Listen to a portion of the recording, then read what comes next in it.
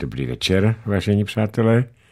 Dnešním hostem studia Beta je pan Josef Skála. Pepo, já tě tady vítám, přeji dobrý večer. Já tobě přeji hezký večer a samozřejmě nejen tobě, ale všem skvělým posluchačům Svobodného rádia. Tak eh, v první řadě, než se dostaneme k dnešním událostem, tak eh, můj důvod, proč jsem tě oslovil, abychom si dneska povídali, tak eh, dneska jsem si přečetl oficiálně na mainstreamu, že KSČM teď zvažuje a nastal boj o prezidentského kandidáta mezi Josefem Skálou a bývalým předsedou Vojtěchem Filipem. Já se zeptám asi takto. Kde se bere ta drzost člověka, který přivedl po více než sto letech KSČM mimo sněmovnu, což se nestalo ani za první republiky, a ještě má tu odvahu chtít kandidovat za prezidenta? To je moje otázka na tebe. Já vím, že to ti je nepříjemný, ale to se uh, už ptali lidi, když si to přečetl na mainstreamu. Já, Vladimíre, všechno zlé je k něčemu dobré a já vítám fakt, že nakonec dochází na toto téma k, ke střetu, soutěži, soupeření, to je jedno, jak to nazveme, právě nás dvou, tedy Vojtěcha Filipa a mne. O mě notoricky známo, že 6-7 let velmi viditelně, asi nejviditelněji ze všech, jsem eh, vedl veřejnou polemiku s doktorem Filipem a s jeho partou o tom, že tak dělat politiku tak, jak ji dělali oni, eh, je velmi zhoubné a povede to k tragickým následkům. Včetně toho, že prostě vypadneme ze sněmovny a tak dále. To přesně to se stalo a e, teď to vzalo takového zajímavého rejda, to asi mohu říci nahlas. E, to samozřejmě nebyl můj nápad, že mám kandidovat, mě by to v životě nenapadlo se sám někde takhle prosazovat. Byla to Kateřina Konečná, která mne před minulý čtvrtek, tedy před nějakými asi 12 dny, pozvala k rozhovoru, kde jsme měli řešit jiné téma, to jsme také řešili. Ona řekla, že má ještě jedno téma. Přišla s námětem, abych to byl já, kdo bude s komunistickou stranou nominován za kandidáta do soutěže o prezidentský stolec. Já jsem jí na to řekl, že to jak si samozřejmě potěší, zejména poté, co použila formulací, nebudu je opakovat, protože eh, to se nehodí, ale ty formulace byly velmi jaksi příznivé k tomu, co umím a co jsem dokázal.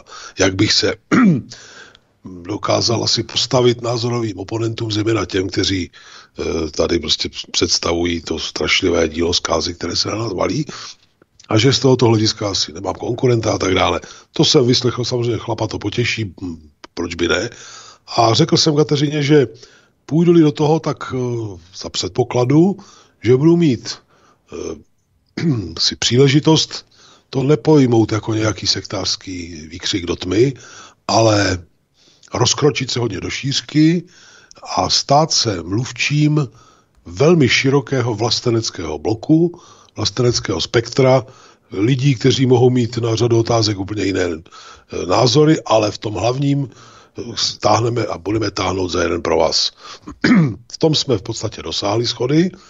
No a poté, co to dva dny na to Kateřina přednesla na plénu ústředního výboru strany, tedy před minulou sobotu, tak se tam strhla taková zvláštní mela, kdy jeden, eh, řekl bych, nejneúspěšnější místopředseda ze všech neúspěšných místopředsedů eh, naší strany vyskočil a prohlásil, že by kandidátem měl být Vojtěch Filip. Eh, k tomu se tak trošku někteří i přidali, jiní zase říkali, že to přeci není možné, k dobru Kateřiny Konečné třeba říci, že ona řekla, že za ním s tím rozhodně ona nepůjde.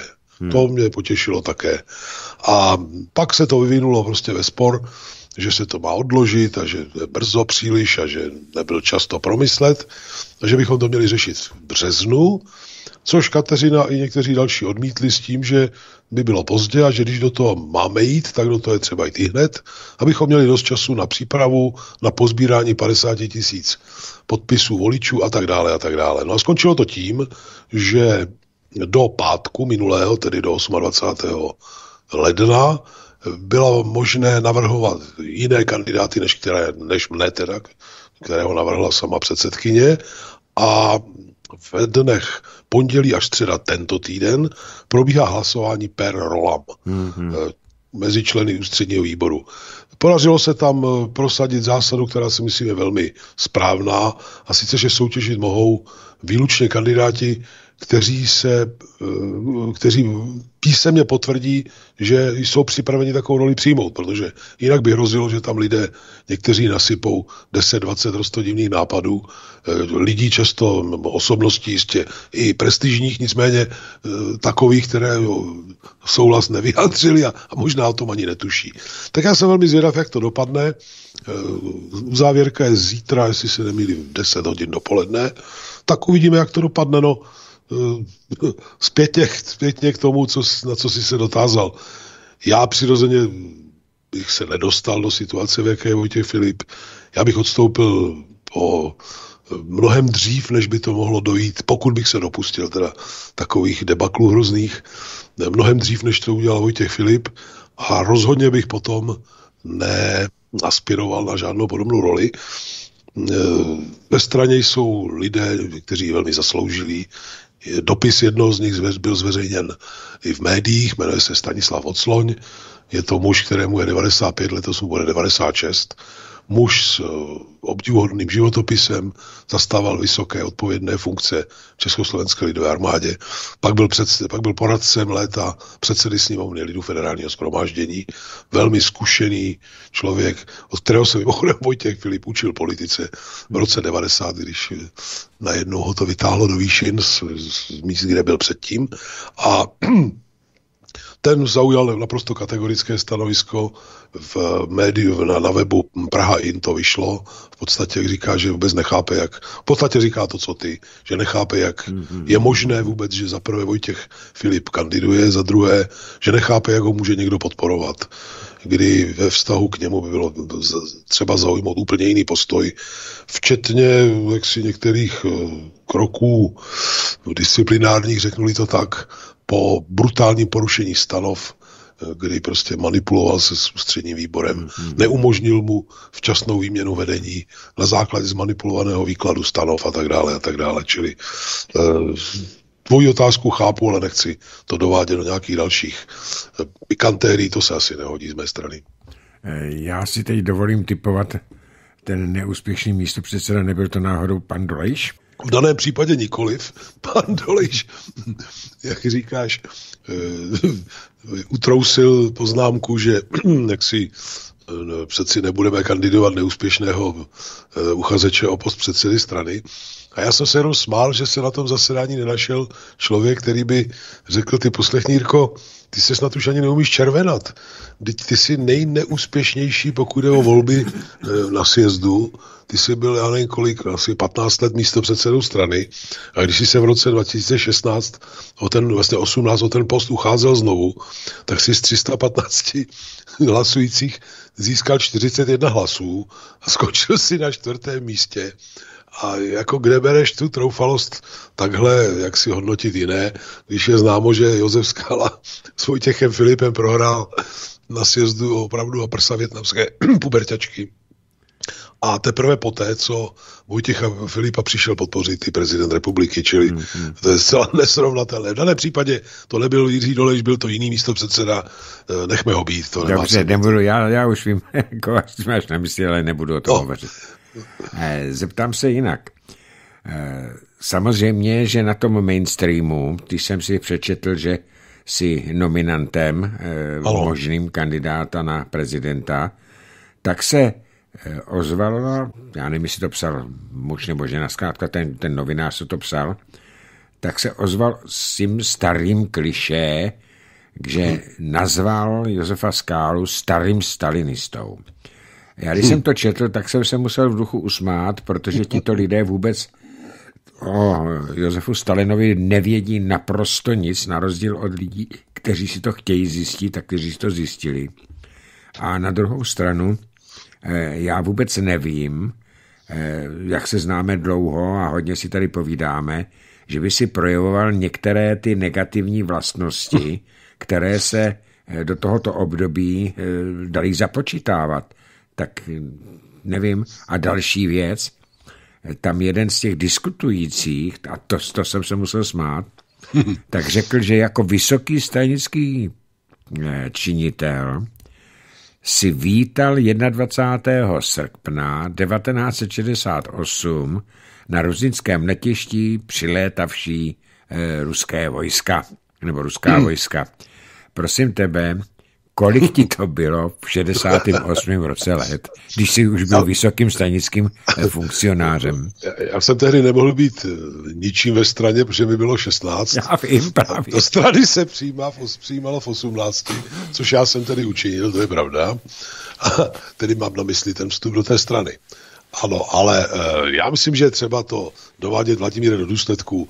Pojďme šířit všude, že jsem měl propůjčenou hodnost maršála sovětské armády a že jsem na tom letišti prostě to tam dirigoval. Jasně, ano, ano, ano, ano. Ta zkazka o mě přeci je zabalena ještě do jiného chytlavého staniolu a sice, že tento jaksi životopisný prvek údajně se objevil v dokumentaci československé rozvědky hmm. za hmm. socialismu, eh, tedy, že jsem, už jsem, už jsem našel asi čtyři nějaké kry, nějaká krycí jména, která jsem údajně u rozvědky měl. A když mě někteří novináři otravují s tím, tak já vždycky říkám, počkejte, ale já jsem pracoval ve strukturách komunistické strany a tam žádná tajná služba nesměla lanařit, měla to přísně zakázáno. Naopak my jsme dávali úkoly jim a ne oni nám. Yeah. A jestli chcete jestli chcete jako nějak to tak, najděte jediný doklad o tom, že já jsem že mě úkolovala nějaká tajná služba, ať už československá, nebo sovětská, nebo americká, anglická, nevím jaká, izraelská. A když ho najdete, tak já odejdu prostě z politiky a nebudu vůbec nic už v ní dělat. A nebo se nějak omluvte a už toho nechte. Důkaz, že, že mě někdo úkoloval, že mi dával peníze. A jeden snaživý novinář dlouho někde štrachal. A pak povídá, že má, napřed říká, že má můj vázací akt. Já pak jo, tak mi ukažte, to je zajímavý. Tak zjistil, že ho nemá, ale pak prohlásil vítězoslavně, že československá rozvědka se mnou měla někdy v 70. letech snad na začátku náklady, které se rovnaly 82 korunám. Já jsem vyprsk smíchy a říkám, a kde ty náklady? To mi dali nějaký honorář? Nebo ne, že tak z něj vylezlo, že snad jsem seděl s někým asi v hospodě hmm. a on zřejmě byl pracovníkem rozvědky. Předpokládám, že to byl diplomat a že to měl nějaký krytí tohohle typu. A vykázal někde 82 korun, který utratil se mnou. Já jsem se strašně smál, říkal jsem, to prosím vás, dejte všude do novin, ať se lidi, ať se lidi pobaví. Pokud je o ten stalinismus a tak dále, my oba víme, Vladimíre, že e, reálný Josef Stalin byl člověkem docela jiným, než se to dneska popisuje. Neříkám, že bez chyb vážných a tak dále, ale byl to člověk, e, jak si, no prostě byl jiný, tím se dneska nezdržujeme. A po, pro mě měřítkem toho, jestli jsem nějaký zakyslý tradicionalista, jak tam říkají a podobně, přeci je, kdo s kým, nebo kdo všechno je s kýmkoliv z nás komunistů připraven spolupracovat. A já si myslím, že snad to nevyzní neskromně, ale já si myslím, že nemám konkurenta v toho, z tohoto hlediska. Já jsem ve velmi férovém, korektním, zpravidla přátelském a produktivním vztahu s několika desítkami osobností české alternativní scény, stejně jako slovenské a i dalších. Mezi nimiž figuruje několik signatářů Charty 77. My všichni si tykáme, táhneme za jeden špagát. Konec konců jsme dali dohromady i, ten, i to združení Kudy z krize a nechci tu nikoho urazit konkrétně, ale je mi znám i názor všech těchto lidí, na e, takové postavy, jak o nich jsme hovořili před chvílí, které se tváří, že jsou mimořádně moderní, antistalinistické, a nevím, jaké ještě, ale e, tato česká intelektuální elita jimi prostě hluboce pohrdá. A nemá si s nimi vůbec co říci. A já si myslím, že není lepší kritérium toho, kdo je, či není nějaký zakyslý tradicionalista nebo naftalí, nebo jak to prostě budeme nazývat, než právě jaksi připravenost moudrých, osvícených, ne, neskorumpovaných osobností spolupracovat. Z tohoto hlediska jsem velmi rád, že to je tak, jak je. A všichni novináři, kteří mají za úkol nějak si ostouzet, to no tak se tvářejí, že to nevědí. No dobře, tak co se dá dělat? Teďka docházíme k dalšímu problému. Já se obávám, že se může vyrojit. Dneska už jsem se dočetl, že číslo lidí, kteří by měli chuť kandidovat, nebo o tom uvažují, anebo už to i ohlásili dopředu, eh, se eh, blíží 40. Já si 36 eh, lidí. A teďka se tady vystává problém. A to je problém syndromu voleb 2021 a tak, jak to dopadlo.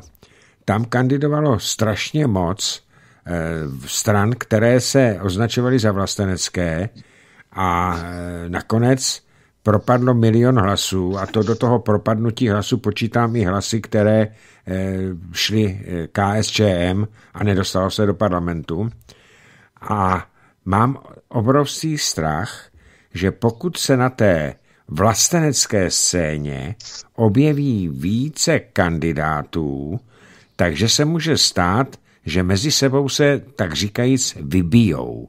Že každý dostane určitý počet hlasů a nedostane se do druhého kola, takže se klidně může stát, že ve druhém kole eh, se do druhého kola se dostanou lidi, které bych si na tom, jak si říkal, prezidentském stolci nepřál vidět, a to je Babiš ani hm, generál Pavel. Jak to vnímáš ty tenhle problém? Rozšíšenosti vlasteneckých hlasů. To je samozřejmě velice vážný problém a já ho vnímám, snažím se ho vnímat co možná odpovědně.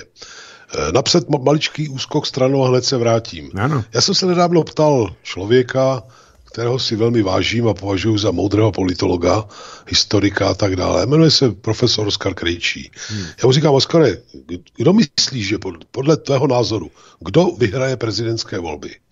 A on mi říká, no nějaká Čaputová. jo. Mm-hmm. Někoho, asi si rozumíme, prostě oni vytáhnou nějakého zajíce z klobouku, ještě jiného, než je generál Pavel a než, jsou, než je Hilšer a Fischer a tihle všichni, Dráhoš možná, já nevím. A uh, udělají mu nějakou prostě takovou reklamu, že přebije prostě všechno. Nevím, ne, Připustme, že i to je možné. Hmm. Ale zpět k té otázce tvojí. Já jsem si toho velmi dobře vědom. Znovu chci zdůraznit, nebyl jsem to já, kdo přišel s nápadem, že bych měl kandidovat. Já mě těší, že i u tebe, Vladimíre, ten, ten námět zazněl v minulosti několikrát, nikoli z mých úst, eh, že to tam někteří říkali a to neznamená, že já kvůli tomu někde budu běhat a sám to navrhovat. Stalo se, co se stalo, já jsem musel nějak reagovat a já jsem řekl ano ve chvíli, kdy zatím žádný, v tu chvíli žádný eh, skutečně jaksi výrazný kandidát vlasteneckých sil na, jaksi ještě v, v, na obzoru nebyl. Ani paní Alenka Vytázková tehdy ještě neanoncovala, že chce kandidovat. A nikdo jiný, nikdo z SPD ještě neanoncoval a tak dále. Tak jsem řekl ano, ale svědomím, že, a všude to říkám nahlas, že rozhodně nehodlám eh, být ve střetu, konkurenčním vztahu například s inženýrkou Vytázkovou, ani náhodou, eh, že chci hledat pouze to, čemu se dneska říká pozitivní synergie. Všichni víme, že snad se paní Alenka neurazí, že ani ona, ani já se velmi pravděpodobně do druhého kola nedostaneme. Takové peníze prostě nemáme a takové mediální a jiné e, nástroje. A připustme, kdyby to u někoho byl, začalo být více reálné, tak je já budu první, kdo řekne, tady je, jsou všech, hlasy všech mých stoupenců a veřejně budu říkat, prosím vás, dejte jemu či jí.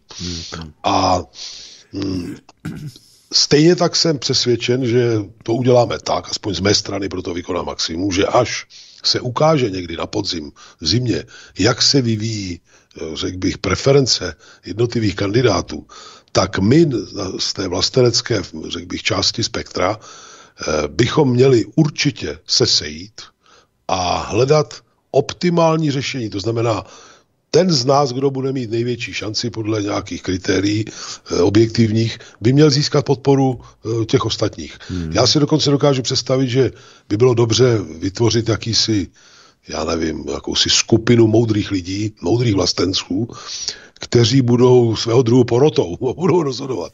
Pokud ji nedáme dohromady, já sám jsem připraven být mimořádně vstřícný. Mimořádně vstřícný.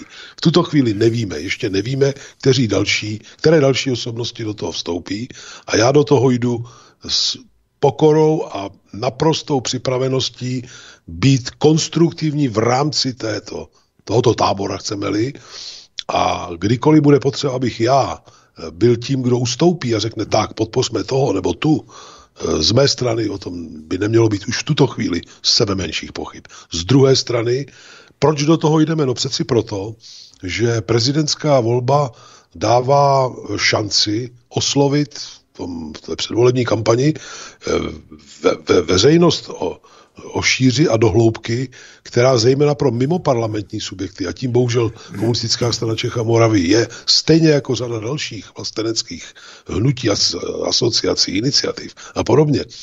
Eh, my jindy takovou šanci, jako máme před prezidentskou volbou, prostě nemáme. Čili tu šanci je třeba maximálně vytěžit, ale nikoli na úkor toho, co ty si říkal. Je třeba najít rozumný, roz, rozumný, řekl bych, soulad mezi oběma nároky. Takhle to vidím já. Tak já jsem velice rád, že to říkáš, protože eh, na příkladu těch lonských eh, sněmovních voleb jsme viděli, co to dělá roztříštěnost. Ale zeptám se tě ještě na jiný problém. Já už jsem se na to ptal různých politiků tady u mě v rádiu, ptám se i tebe. A to je za velmi, eh, velmi velké hrozící nebezpečí. Vycházím z pozic především ODS, konkrétně pana Bendy, ale on se k tomu vyjádřil i Václav Klaus mladší, dokud ještě byl v politice, než zbaběle utekl. A to je problém přímé volby prezidenta republiky. Eh, v současné době válcuje ta pětikol, pětikoloběžka, válcuje eh, opozici a válcuje zdravý rozum eh, jak na běžícím pásu. V podstatě tady máme na místo, když si to byla vláda jedné strany, Národní fronta, tak dneska máme vládu eh, pěti koalice. Zkrátka nepřipustí a kašlou přitom na demokracii. Tak a teď. Zaslechl jsem, četl jsem, kulárek jsem zase se povídá, že Miroslav Kalousek, který je duchovním otcem těch voleb a toho, toho, co se stalo, to znamená Eh, že se združili do dvou velkých subjektů a dokonce působili na Rycheckého. Takže odešel z, ze sněmovny půl roku předtím právě kvůli své ambici stát se prezidentem České republiky. On moc dobře ví, protože já ho považuji za jednoho z nejchytřejších politiků polistopadové éry u nás teďka nebudeme říkat eh, v jakém smyslu, ale je to opravdu jeden z nejchopnějších politiků. Teď se zeptám, Pepo, neobáváš se taky toho, že tato pětikoalice, která disponuje 108 hlasy a je jedno, že Farský je momentálně pryč, on se vrátí v únoru nebo v půlce února, vzdá se mandátu, přijde tam další jeho náhradnice, takže oni se budou snažit uplatit a protože to jsou Serešovi děti, tak peněz mají dost. Podívejme se na to, jak se financuje stan a nic se neděje. 12 poslanců opozice, teď mám na mysli poslance eh, především z ANO, kteří jsou nezakotvení. A změní se ústavní zákon o přímé volbě prezidenta. A potom bude volit zase parlament, tedy celý parlament, pardon, sněmovna i senát. A rozložení toho parlamentu v současné době je takové, že ten Kalousek by se tím prezidentem pravděpodobně stal. Nemáš z tohohle toho obavy, Josef? Mám, mám. E, jestliže se, by se jim podařilo koupit si duše z hnutí ANO, tak potom eh, bych si dokázal představit, že dosáhnou tohoto cíle, ano, to a těžko by se tomu asi dařilo zabránit. Pokud by eh, klíčovým nominantem druhé strany, když to tak řeknu, té, co jde proti nám, byl Miroslav Kalousek, eh, mělo by to i svoje výhody. Marná sláva, eh, on je člověk, který, máš pravdu, on je rozhodně není hloupý, je i politicky velmi mazaný protřelý, ale on je postavou, která, kterou česká veřejnost vnímá velmi rozporně. Někdo ho baští, tak říkajíc, a je spousta lidí, kteří ho nemohou ani cítit. Čili tím by si možná česká kolaborantská pravice do jisté míry, do jisté míry ublížila. Čili, eh, ale ta hrozba, že by se mohli pokusit zvrátit, řekl bych, proceduru prezidentské volby mm-hmm. do starých časů, tu já vnímám jako velmi vážnou. To s tebou naprosto souhlasím, protože pak by měli vystaráno, pak by jak si to dosáhli svého, ať už by nominovali v podstatě kohokoliv, to je pravda. A jestli dovolíš ještě jednu poznámku malinko nad rámec. Já si myslím, že tyto úvahy, to znamená netříštit cíly, spojovat je a tak dále, se týkají i toho, co je na pozadu ještě dřív než prezidentská volba. To znamená komunálních voleb. Ano, ano. A já nebudu skrývat, třeba tím někoho naštva, je mi to úplně jedno, že už jsem zahájil důvěrné konzultace s uh, některými představiteli SPD o tom, zda dokážeme vyvodit závěr z toho, co se prostě stát nemělo v, ve sněmovních volbách, zejména v takových lokalitách, jako je Praha, Brno, Plzeň a podobně. A zdá se mi, že nacházím narůstající porozumění a rád bych zdůraznil jednu zásadu. Tam vůbec nejde o to, že někdo někomu má být podřízen. Můj, můj návrh zní tak, že by mělo jít o jakési široké vlastenecké koalice či bloky, kde vedle sebe budou souřadně uvedeny e, zúčastněné subjekty. Ať už ty, které jsou větší, jako je třeba parlamentní SPD, tam, kde to bude reálné, jako je KSČM, ale i rostodivné asociace, hnutí a tak dále, které zdaleka nejsou tak početné a s takovým, s takovým vlivem, ale dokážou s námi spojit síly a jsem přesvědčen, že pokud to uděláme, tak v komunálních volbách, pokud jsem to správně si zapamatoval, tak tam nehrozí to, že když se spojí více subjektů, že úměrně tomu narůstá práh po němž lze prostě se dostat do toho zastupitelstva. Ne, ne, tam, tam, to, tam to nehraje žádnou roli. Mm-hmm. Takže si dokážu představit, že v Praze, Brně, Plzni a jinde bychom měli touto cestou. Popravdě řečeno, v Praze třeba má SPD také velký problém z minulých komunálních voleb a neskrývá v důvěrných debatách, že, nebo její lidé neskrývají v důvěrných debatách, že by mohl být minimálně stejný v těchto volbách. Myslím si, že je nejvyšší čas velmi konstruktivně rozumně prostě o tom uvažovat a začít dávat dohromady bloky, které zajistí, že se vlastenecké síly do těchto zastupitelstev klíčových dostanou a budou moci klást prostě podstatně větší odpor tomu, co tam dělá ta momentální, ta momentální vládnoucí koalice. Takže i touto cestou chci demonstrovat, že rozhodně nejde o nějaké sektářské hašteření ani na ten způsob, eh, ale naopak, prostě dnes musíme hledat tuto schodu a vyvodit z toho, co možná konkrétní závěry, i pokud je o kandidátky. Ano, to není všechno jenom komunální volby. Jak je známo, tak vždycky při komunálních volbách eh, ob dva roky, tak je, jsou volby i do mm, části nebo do třetiny eh, Senátu. Já, jestli se nepletu, možná se pletu, ale já vím, že vždycky v liché, v liché roky by se měli volit Senát. Takže ne, nestálo by za to te, tuto domluvu, kterou já považuji za velmi rozumnou a jedině možnou, eh, že by toto se stalo i v těch eh, okrsích, kde budou ty eh, senátní volby, aby se nestalo to, že se na, zase vypráskají hlasy dvou vlasteneckých kandidátů mezi sebou a do druhého kola se nakonec vůbec nedostanou. Vladimíre, i tady si čteme myšlenky.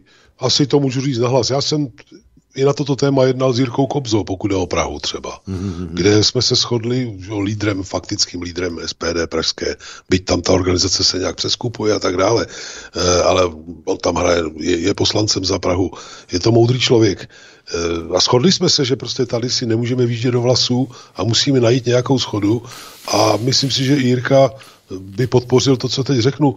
Z té schody, ta, ta schoda vůbec nemusí spočívat v tom, že nominantem tam či onde bude člen některé z našich stran. To může být osobnost, která prostě má, má autoritu ve vlastenecké veřejnosti a my budeme mít důvod ji podpořit, jak oba tyto subjekty, tak další vlastenecké síly. Senát je velmi specifickou, e, specifickou institucí a volební procedura do Senátu je velmi specifická. Čili já z mé strany chci být, já chci být mimořádně konstruktivní i z tohoto hlediska a čelit takovým e, obstaložním některým nápadům, že hlavně, že tam máme svého strejčka, prostě on získá e, dvě celé nebo tři celé, tři celé něco procenta a splnili jsme svoji povinnost, udělali jsme si fajfku. Takhle přeci se to nedá dělat.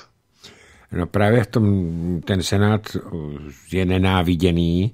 Já se mohu přiznat, že já od jeho samého vzniku proti němu brojím a, a píšu všude, tehdy jsem psal v novinách, teď to všude říkám, že senát nikdy neměl v takhle mrňavé republice vzniknout a e, například Švédsko se ho zbavilo velmi sofistikovaným a řekl bych e, dobrým způsobem protože tam senátoři se taky samozřejmě by nevypustili si kapři svůj rybník, no tak řekli těm stávajícím senátorem, dostanete senátorský plat do konce života, když se nás zrušíte, no a blížší košile než kabát, každý šáhnul po těch prachách a senát si zrušili.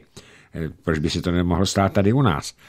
Ale je tady ještě jiný problém, co se týče těch senátních voleb. Tam se volí osobnosti tam většinou lidi volej ty, které znají. A tady v těch posledních senátních volbách, které proběhly, tak jsem viděl to naprosté, a teď se na mě, ať se na mě nezlobí i přátelé z SPD, naprosté diletantství všech politických stran.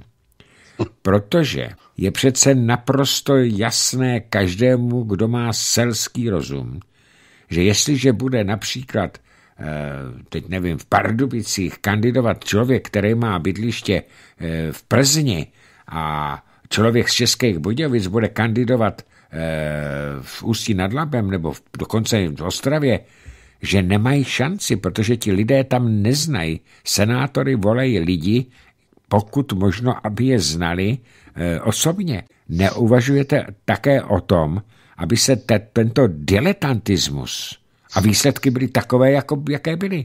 Aby se ten diletantismus neopakoval? Zase s tebou, Vladimíre, souhlasím. Já dokonce v rámci KSČ poměrně dlouhou dobu razím zásadu, že nevždy úspěšně, že vůbec není nikde řečeno, že musíme kandidovat ve všech senátních obvodech. Popravdě řečeno, peníze na to jsou omezené, takže ty lidi vlastně kteří, kteří kandidují, vháníme do nerovného střetu a pak ještě jim vyčítat, že nedosáhli buchu jakých výsledků, není úplně fér. Krom toho mnohdy jsou to lidé, kteří nemohou být nějak významně známi nebo nemají až takovou prestiž a je to svého druhu od nich prostě oběť. Ty máš pravdu, že je dobré, když ten člověk má určitou lokální autoritu, abych tak řekl, ale já si myslím, že ani to není úplné dogma. Eh, vezmi si tak vážení přátelé, došlo nám tady k výpadku proudu, takže já teď opět volám Josefa Skálu. Ano, ano. ano tak Josefe, už se to tady napojilo, takže Tečně. výborně. Eh, takže ještě jednou, vážení přátelé, máme tady příšerný vítr, došlo k výpadku, k výpadku eh, proudu, takže samozřejmě nám vypadlo i, i vysílání. Takže doufejme, že to teďka už vydrží. Eh, Pepo, vydrž, já si ještě zavřu. Dobře.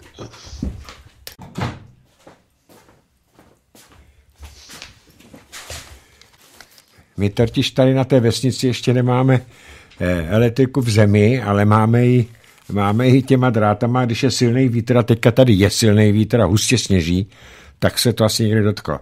Tak Eh, Pepo, o čem jsme to naposledy, než nás vypadli, hovořili? Přiznám se ti, já mám dojem, že jsme hovořili o komunálních volbách. Senátních, takže kvůli výpadku jdeme rovnou na to, co se dělo eh, teď tady.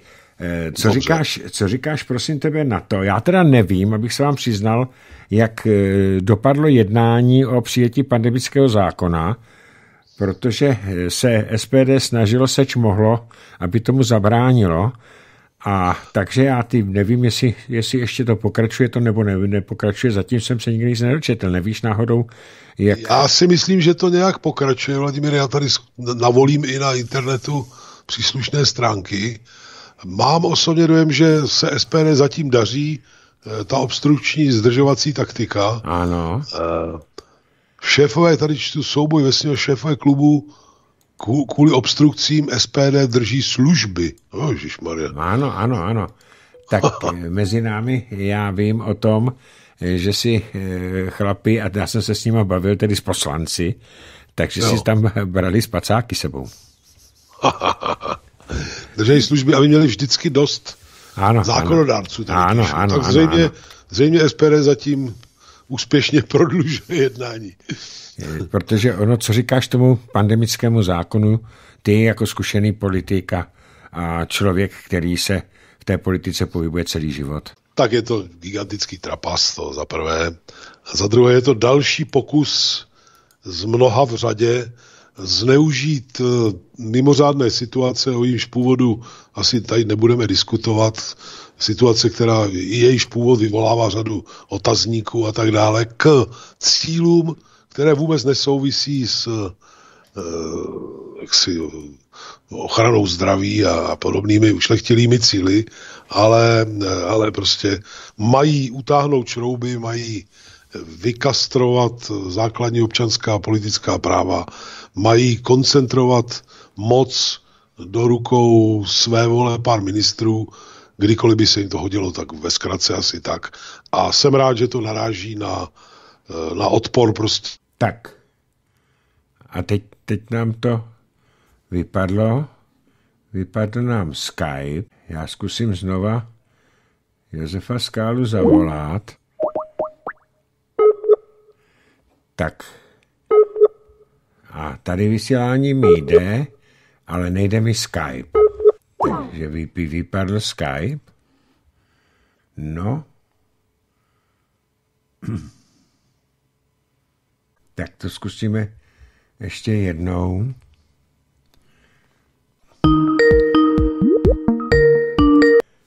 Tak slyšíme se, Josefe? Teď se slyšíme.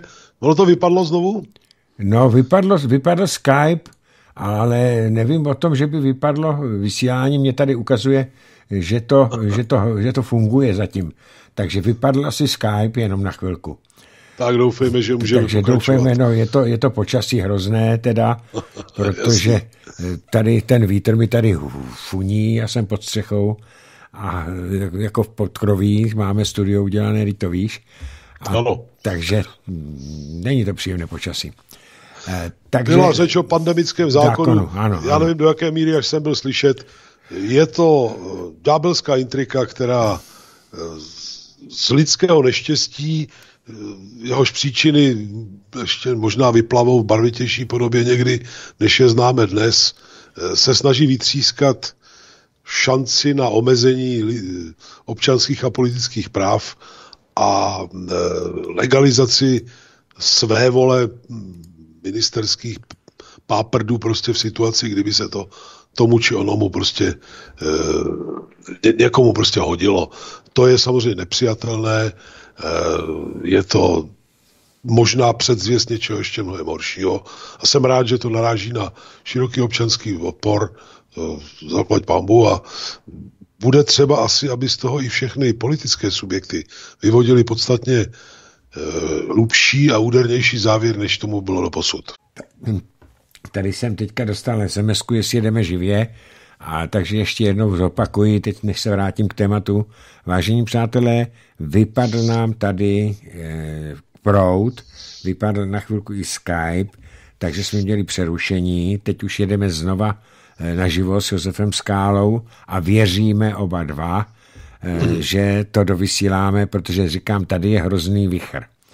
A to se občas stává při takovém počasí. E, Josefe, ještě by mě zajímala jedna věc.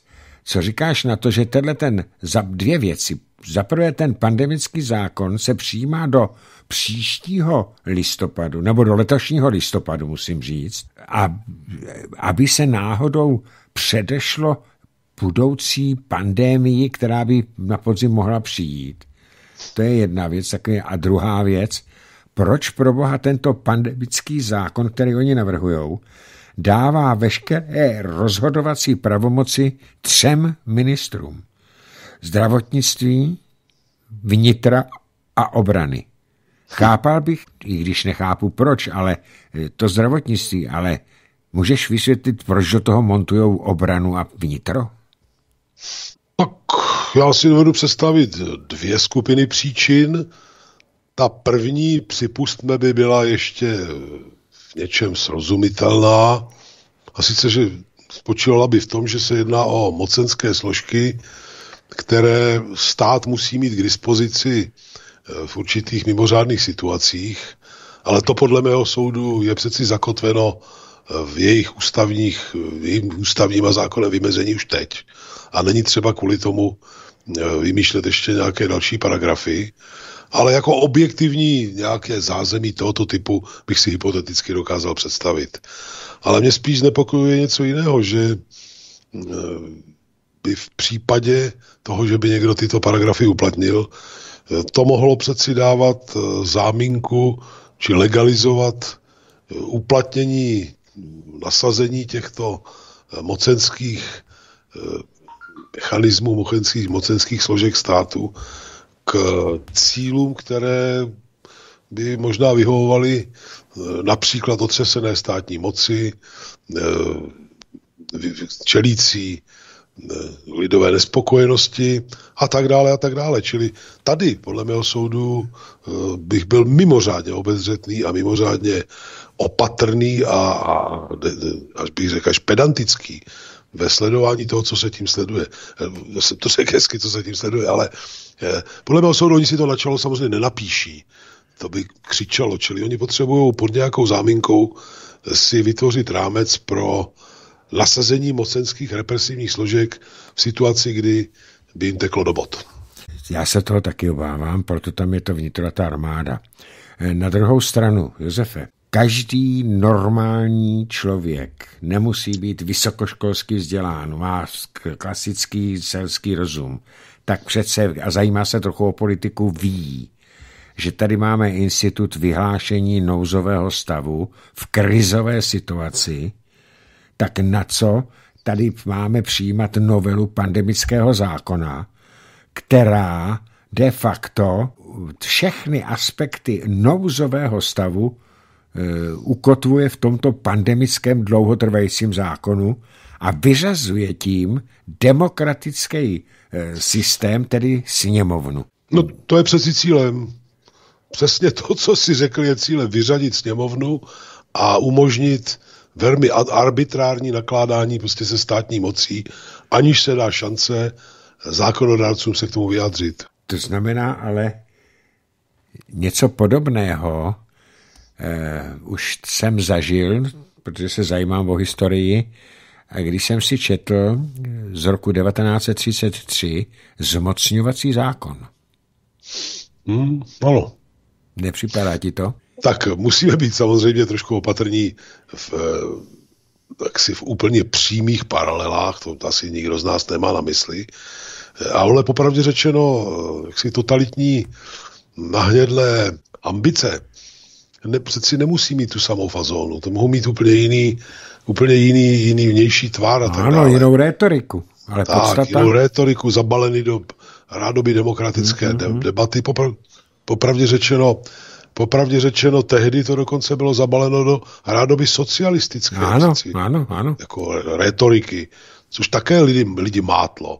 Dneska je to zabaleno do velké obrany lidských práv, demokracie a podobně a zase je v tom vysoká dávka demagogie. E, na rovinu v těch klíčových analytických centrech ve Spojených státech a jinde přeci e, probíhají velmi intenzivní výzkumy a přípravné práce, pro situaci, kdy eh, skutečně se ta moc bude nesnad padat přímo na ulici, ale bude, bude se pod ní otřásat prostě půda. Mm-hmm. A vládní kruhy zemí, jako je Česká republika, jsou mimořádně nesvéprávné. To jsou přeci lidé, kteří kopou za cizí zájem proti vlastní zemi. To z nich čiší na dálku. A čili i oni mají zřejmě mandát připravovat eh, podobná, podobné mechanismy a podobné rámce, díky nimž by potom měli zvládat s nás potlačení lidového odporu. Eh, jsou to chmurné vyhlídky, ale takhle rozdali voliči karty a my se s tím eh, musíme poprat. Eh, nicméně další zákon, který má tato pětikoalice připravený a neprosadilo se to zase jenom díky, díky statečnosti 20 poslanců z SPD a především Tomia Okamory, který se za to pere jako lev, a to je eh, ten připravený novela volebního zákona a to je ta korespondenční hlasování. Když víme o tom, jak to dopadlo v Rakousku, jak byly podvody a v podstatě dneska máme amerického prezidenta, který se díky tomuhle tomu korespondenčnímu hlasování dostal eh, do funkce podvodem. Tak jak to snímáš ty? Jak to prosazuje tato koalice vehementně to korespondenční hlasování? nesporně korespondenční hlasování je obrovskou šancí manipulaci podvodu a tak dále pro toho, kdo má v ruce příslušné technické e, nástroje a motivace těch, kdo jsou u moci dnes i u nás, samozřejmě mít po ruce podobný mechanismus dramaticky narůstá. Vezmi si jenom ten děsivý inflační skok, který ano. se valí, vysloveně valí Českou republikou. A ceny energie, energií obou, tedy jak mm. proudu, tak plynu, vyskočily takovým způsobem, že eh, zahánějí statisíce lidí do vyslovených existenčních pastí. Já si troufnu tvrdit, že taková energetická bída u nás nebyla ani hned po druhé, krátce po druhé světové válce. A tehdy se nemohlo stát, že někdo měl nějaký příjem, byť skromný, poválečný, a přišla by mu zálohová platba za energie, která by byla několikrát, několikrát větší, hmm. než kolik bere, nebo významně větší, než, než kolik či, činil celý jeho měsíční příjem. To je prostě novinka, to tady ještě nikdy nebylo. E, lavinovitý přenos těch eh, strašlivých cen plynu i eh, elektrické energie do cen potravin, spotřebního zboží a tak dále a tak dále. To všechno se nutně projeví i v náladách ve společnosti, protestních hlasech a možná i vůli si udělat něco víc, než si zanadávat. Takže vyhrávat volby za takové situace legálně, bez různých podfuků, by byla kvadratura kruhu, tak já chápu, že e, strážci e, nynějších poměrů prohnilých dělají vše proto, aby měli v ruce i nástroj jiný. No a korespondenční volba nepochybně takovým nástrojem je. A ty máš pravdu, že jak Rakousko, tak Spojené státy to prokázali velice markantně. E, další věc, která mě trošku, ne trošku, hodně trápí, přejdeme na další mezinárodní situaci, tak to je situace, kdy se snaží Spojené státy a státy NATO a za mohutné podpory české reprezentace politické současné rozpoutat e, válečný konflikt na východě Ukrajiny s cílem zatáhnout do tohoto konfliktu Ruskou federaci. Teďka ta, to, ta hysterie, dneska jsem četl, co říkáš tomu, že jsem četl, eh, že ministr vnitra Rakušan prohlásil, že v rámci eskalace napětí eh, by poslal eh, Slovensku na požádání část našich jednotek policie na ochranu jejich východních hranic, kdyby vypukla na Ukrajině rusko-ukrajinská válka. No, zase se musím vrátit do 38. roku. Tohle to něco podobného tehdy eh, požadoval Konrád Henlein na Hitlerovi a na příslušných úřadech a taky dostal pomoc eh, nejenom Freikorps, ale eh, ty Ordnungy, ale byla tam i, byly tam i jednotky SS, i když se to popíralo, tak Co na to říkáš? Já, Vladimíre, to možná pojmu takovým kontrastní, kontrastní metodou. Navážu na to, co jsem měl příležitost říci před budovou generálního štábu, když jsme tam v sobotu pořádali poměrně úspěšnou demonstraci proti vysílání českých, české munice a snad i vojáků eh, na hranice mezi Ukrajinou a Ruskou federací. My jsme byli první země, která, nebo my jsme byli obětí mnichovského diktátu, který nám vnutili cizí mocnosti. Mm-hmm. Smyslem mnichovského diktátu nebylo jenom zmocnit se českého zbrojního průmyslu a tak dále, ale změnit naši zemi v průchodák Drang nach Osten proti tehdejšímu sovětskému svazu. To nám bylo vnuceno. Dneska jako by se někdo pokoušel eh, o Mnichov na podruhé a vlastnoručně, hmm. což je šílené. Sami se máme změnit ten průchodák toho všeho východním směrem. My jsme byli po Mnichově a po okupaci nuceni produkovat eh, zbraně, munici a tak dále pro e, nacistický Wehrmacht, SS a, a jejich spojence a byli jsme docela významnou proti své vůli e, zbrojní zá, zbrojním zázemím té ano, agrese. Ano, byli. Tehdy nás nutili k tomu verkšucáci, gestapo a tak dále. Dneska se někteří chtějí vycajchnovat tím, že budeme sami z vlastní vůle prostě dodávat e, zbraně, munici a dokonce vysílat i vojáky, jak říkáš, na ty policisty e, tím směrem. To je něco, co v dějinách samostatné republiky je naprosto bezprecedentní. To prostě nemá srovnání. A následky, které e, hrozí, jsou zaprvé bezpečnostní povahy, že čím víc do toho budeme strkat, ne my, ale ti, co nám poroučejí e, doma nos, tak tím více staneme nutně terčem potenciálních odvetných prostě úderů. To přeci si nikdo soudný nemůže přát.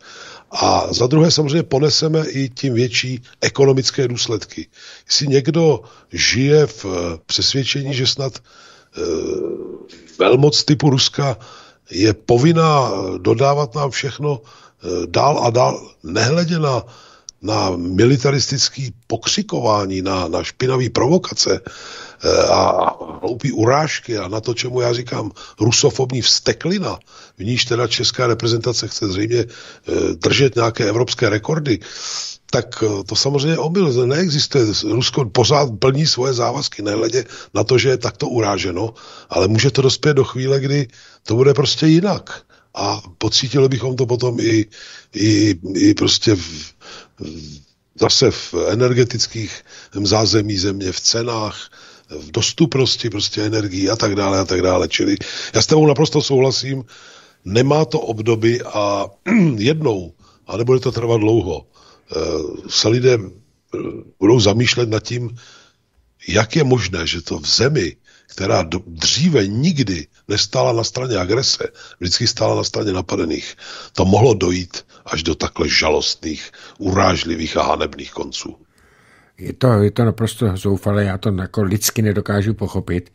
A tady je zase jen vidět, eh, že to, to, to je moje otázka na tebe, protože já naprosto nechápu, že ještě před rozhodnutím vlády o vyslání nebo poslání těch 4 tisíc dělostřeleckých nábojů ráže 152 do, na Ukrajinu, O tom už na svém účtu a ve, veřejně prezentovala ministrině obrany Jana Černochová. E, já jsem dostal e, od našich posluchačů trestní oznámení od jednoho hajného e, na, na paní Černochovou a na podstatě na, na, na další tyhle ty, protože to je v rozporu s naším právním řádem, kde se zakazuje pod trestem odnětní svobody podpora agresivní války. A teď mi vysvětlí Josefe, co to je za ženskou, ona nemá děti teda, eh, která posílá jako pomoc nějakému státu eh, dělostřelecké náboje, aby posílila mír? To je něco podobného jako, jako humanitární bombardování. Ty náboje budou zabíjet lidi, děti. A na, na tom Donbase Luensku a, a všude. Přesně to... tak, to je velmi cynická uh, líčka za nějakou jepičí kariérou. je zvláštní, když ministerstvo obrany v takhle složité době vede člověk bažena, která očividně pro vedení zbrojených sil nemá absolutně žádnou kvalifikaci. Je na nejvýš hloupé, když se tím, tou její rétorikou a tím, tím jejími skutky boří celý ten krásný mýtus o tom, že když, když by přišlo do politiky více žen, takže politika bude jaksi míru milovnější, humánnější a tak dále a tak dále. Všechny ty tři dámy, které teď se zaskvěly na českém politickém nebi, eh, počínaje předsedkyní poslanecké sněmovny a přes také obě ministrině, Eh, bohužel teda tento, ten, ten, tuto krásnou selanku boří způsobem mimořádně brutálním. Eh, my si koledujeme o velmi nepěkný vývoj, my si, a kdy, pokud se to ne, nevrátí nějak eh, i nám tady, například v podobě vlny ukrajinských uprchlíků a tak dále a tak dále, což se nedá vůbec vyloučit, tak každopádně přijdeme o zbytky renomé země, kterou svět vždycky vnímal jako mírotvůrce a ne jako bláznivého militaristu. A napravit tuto ztrátu bude velice obtížné. Tak já jsem si nedávno přečet taky jednu takovou historickou studii o tom, že nejhoršími, nejbrutálnějšími, nejobávanějšími a nej, řekl bych, vražednějšími dozorci v koncentračních táborech byly ženy. Jo, taky, taky na, dostala velká, velký počet těch dozorkyň, těch sadistických, těch dostala po válce eh, trest smrti a to nejen eh, v našich zemích nebo naší zemi, protože tady jsme taky popravili nějakou ale eh, a nejen v tom tehdejším Sovětském svazu, ale i v Německu, v Polsku, v Holandsku, všude tam eh, soudili ty ženy.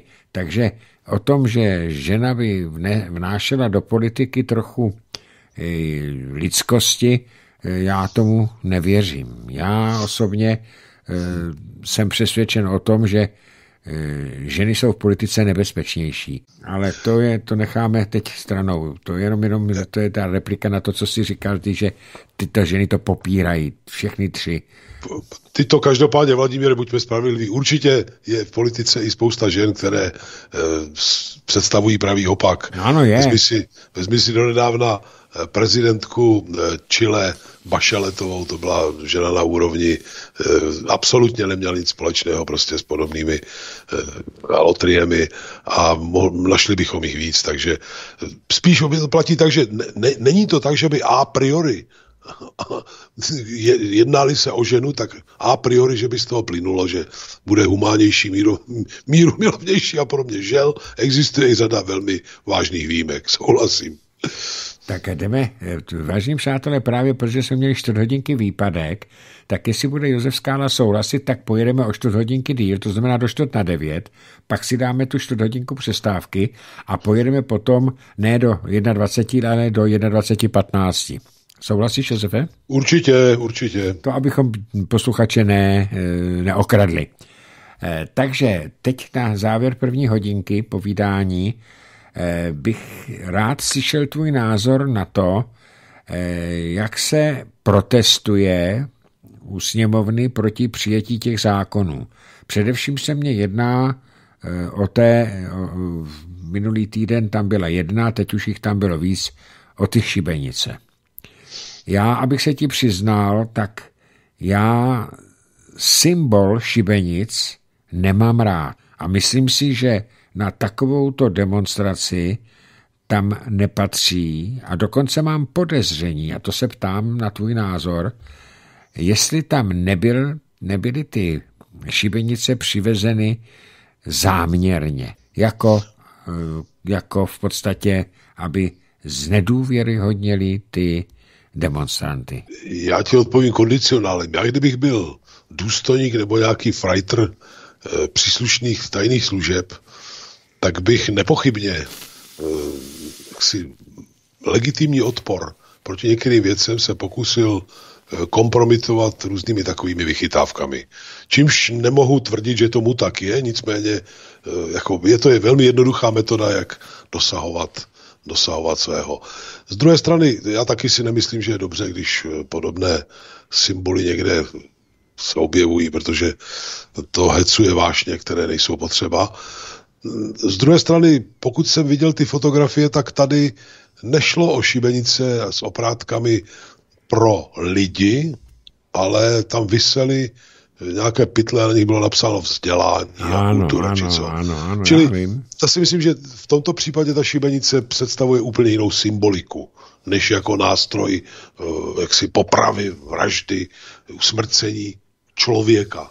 Tady to mělo symbolizovat uh, jaksi popravu školství, popravu a tak dále, tak dále což je trošku něco jiného.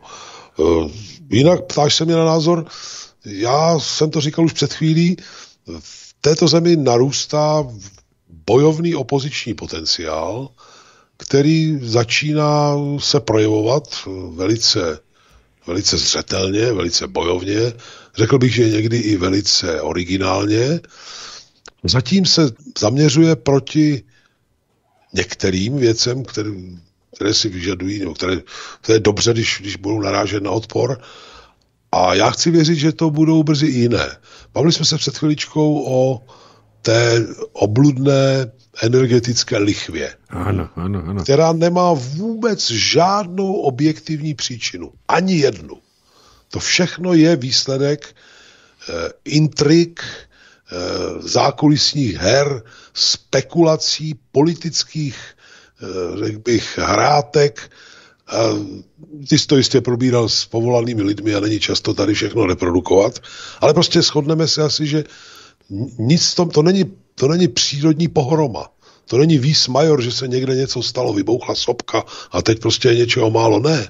To, k tomu se došlo logikou vlastnických a ziskem motivovaných prostě eh, bych procedur, eh, nebo mechanismů a procedur, které, které končí tam. A pro naši zemi to má mimořádně jaksi, drastické důsledky. My jsme velmi průmyslový stát. A máme také spoustu produkce, která je energeticky náročná. Už z tohoto hlediska to na nás dopadá velmi, velmi, velmi citelně. Platíme údajně nejvyšší cenu plynu v Evropě vůbec. Ano, ano. Taky tom Německo ji nakupuje za 270 dolarů a nám ji prodává za 720 dolarů. Mm, mm, mm. Německo má dlouhodobé splouvy. My jsme byli první země, kudy, do které přitékal plyn ze Sibiře mm. a byli jsme, eh, měli, profitovali jsme toho, z toho tím, že například Praha, ty si to pamatuješ, eh, před 50 lety, kdy, když ta plynofikace začínala a padnul trošku, padla mlha, no tak smog z těch uhelných, eh, řekl bych, kotelen v obytných domech a tak dále, plus průmyslových podniků, ten byl velice značný a to se mm. to najednou začalo mizet. My dneska platíme nejvyšší cenu plynu jako země, která předtím profitovala nejdřív a nejvíc ze všech. Elektřina, plyn celý je v zahraničních rukou. Import, distribuce a velké části i malou obchod. Za elektřinu platíme cenu, o které rozhoduje německá burza a hmm. tak dále a tak dále. Prostě to je šílená situace.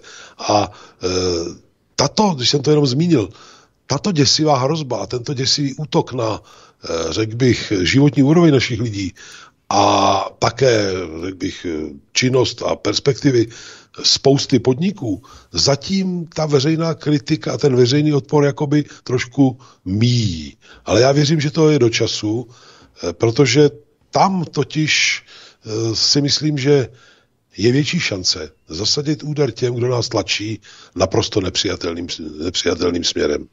Takže se na to těším a velice rád bych se takového odporu účastnil. Eh, poslední otázka před přestávkou. Ptám se na to skoro všech našich hostí, nevím, jestli jsem se na to ptal na tebe, takže eh, pokud jsem se ptal, tak se omlouvám. Nicméně to zajímá i naše posluchače.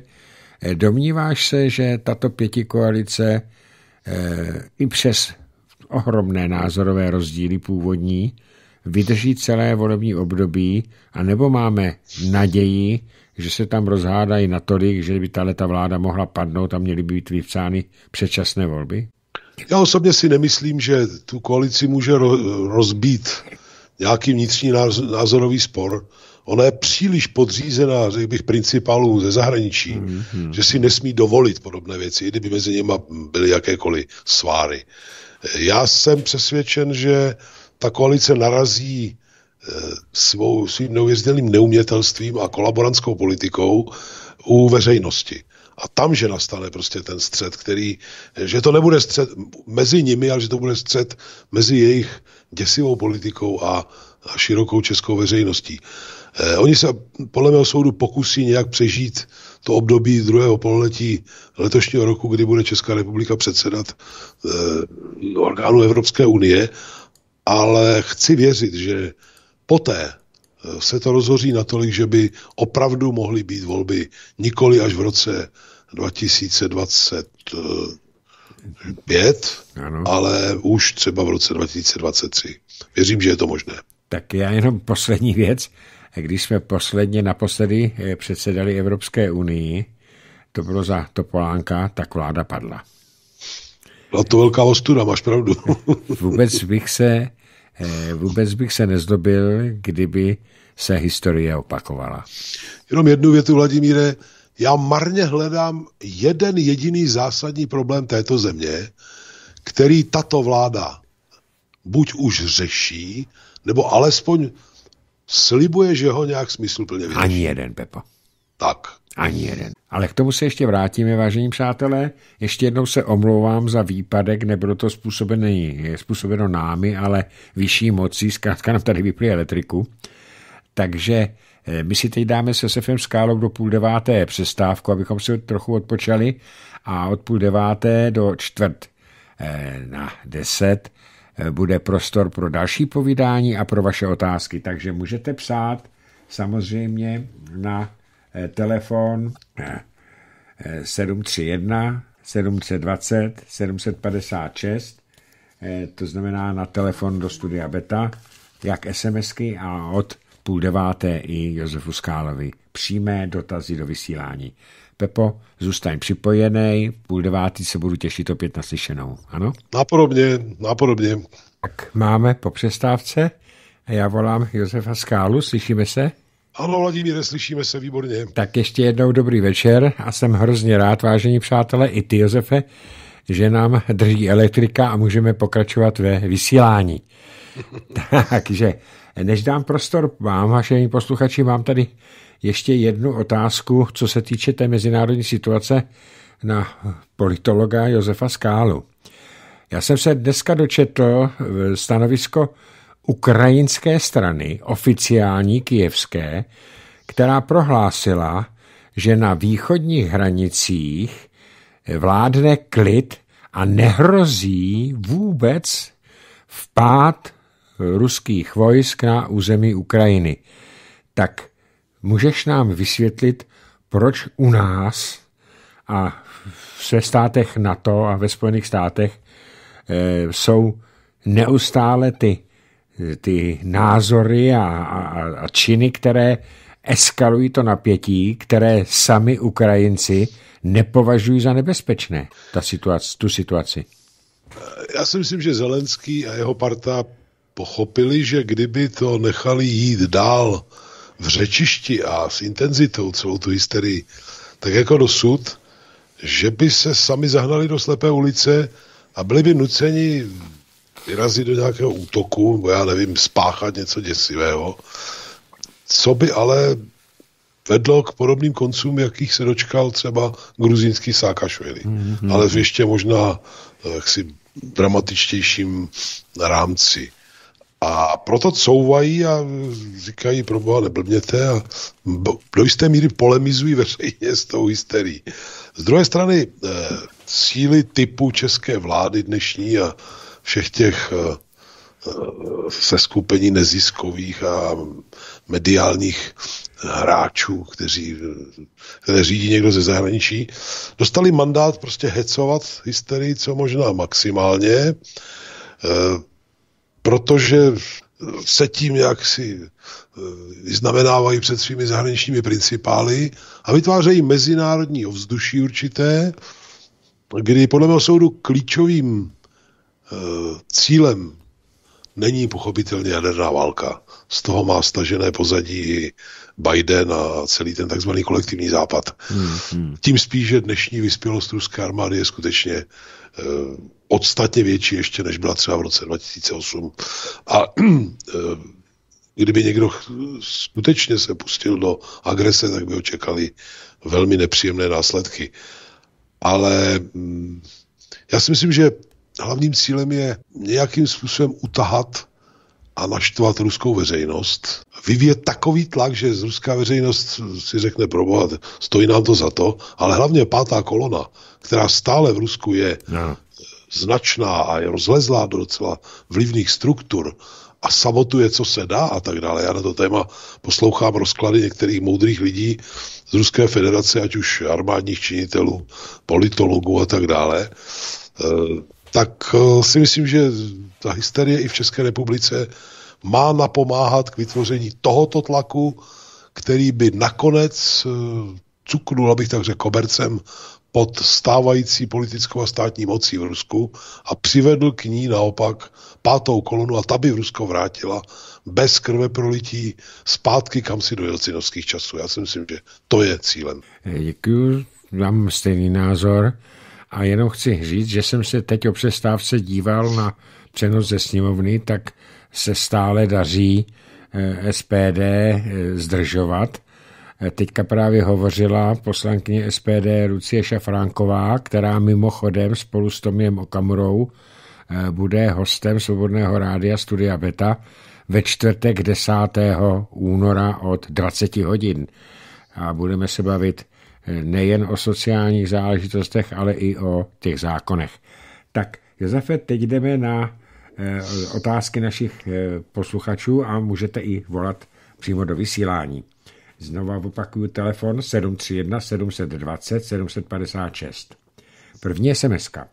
Vážení pánové, vzhledem k současnému studiu knihy Bůh synergie nevidím na nařčení býti stalinistou nic tak špatného – Díky a hezký večer, píše Josef Pešek ze Šumavy.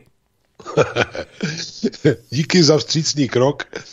Eh, tak už jsme to tady říkali mnohokrát a dokonce Vladimír jsme tady měli i pozad o Katyni a tak dále. My se těch témat nebojíme. Eh, problém je v tom, že stále většinová veřejnost nemá tušení o faktech, jaké popisuje třeba Jura Šifrin v té knize Bůh synergie. A eh, ta hysterie trvá přes 30 let a vytvořila stereotypy v myšlení nikoli nepočetné části české veřejnosti, zejména té mladší, kdy, když se o někom řekne, že je stalinista, tak je to horší, než kdyby byl generál SS pomalu, jo? To je ano, prostě... Ano, ano. Takhle to je, nebo Obergruppenführer teda, bych se vyjadřoval dobovým slovníkem. Eh, na tomhle stereotypu, na tomhle primitivním prolhaném prostě stereotypu je to celé postaveno. Já, ty to víš, Vladimíre, se nikdy nebudu bránit boji za pravdivý výklad toho, co se odehrávalo eh, v Sovětském svazu v době, kdy stál v čele Josif Stalin. Eh, já, abych se ti přiznal, tak i mě, eh, já jsem měl jiný názor, než byl ten oficiální, ale opravdu stejně jako Josef Pešek, tak jsem mě otevřel oči při knize Jiřího Šifrina, Bůh synergie právě o Stalinovi, který to tam podal velice sofistikovaně a odkazuje se tam na, různá, na různé dokumenty a fakta. Eh, mimochodem tuto knihu jsem četl tady eh, ve Svobodném rádiu celou, je s tím, že nebyla v archivu, protože je stále v prodeji. Můžu hmm. doporučit, otevře to mnohým lidem oči. Takže to bych jenom chtěl dodat. A ještě jednou musíme si uvědomit, že eh, i taková, takový komunistobíce Winston Churchill o Stalinovi prohlásil, a teď to budu parafrázovat, nebudu říkat přesně, že převzal zemi s dřevěným rádlem a předal ji jako atomovou velmoc. Říkáš to téměř doslovně, možná úplně doslovně přesně, Vladimíre. Já dodám, když dovolíš, kdy to řekla, jak to řekl. Ano. To má to zajímavý kolorit. Neřekl to v době, kdy se chtěl jako nějak, že ne zavděčit, ale prostě jakési gesto žijícímu Josifu Stalinovi. Řekl to v roce 1959, když u příležitosti nedožitých 80. narozenin Josifa Stalina a přestože sám byl už tehdy členem horní sněmovny ve svém důstojném věku, tak šel do, eh, jestli to říkám správně, do dolní sněmovny britského parlamentu mm, a tam měl zásadní projev na toto téma specificky. Toto je jedna z formulací, které říkáš velmi přesně. A těch formulací je tam celá spousta, včetně takových, kdy říká, oceňuje jeho mimořádný intelekt a schopnost rozebrat se vždy během několika málo vteřin v samotné podstatě o každé otázky, která se ocitla na pozadu. Ale on tam popisuje i takové detaily, jako že když se účastnili těch mezinárodních konferencí Velké trojky, tak když v Jaltě a předtím i snad v Teheránu Stalin vstupoval do místnosti, kde už seděl eh, Roosevelt, protože byl imobilní a, mm-hmm. a také Churchill, tak on říká, my jsme z jakýchsi důvodů vstali všichni. Ano, ano, ano, Přestože nám nikdo to samozřejmě nemohl ukládat, jo, ale mm-hmm. co si nás přimělo k tomu, že jsme vstali, protože z něj vyzařovala obrovská moudrost a autorita a tak dále. No. Je to tak. Poslední citát Winstona Churchilla, než přejdeme další otázce, že považuji Josefa Stalina za největšího politika první poloviny 20. století. Od Churchilla to je zajímavá, zajímavý, zajímavý postřeh, ano. A to jsem četl v, v biografii Vincenta Churchilla právě. Aha.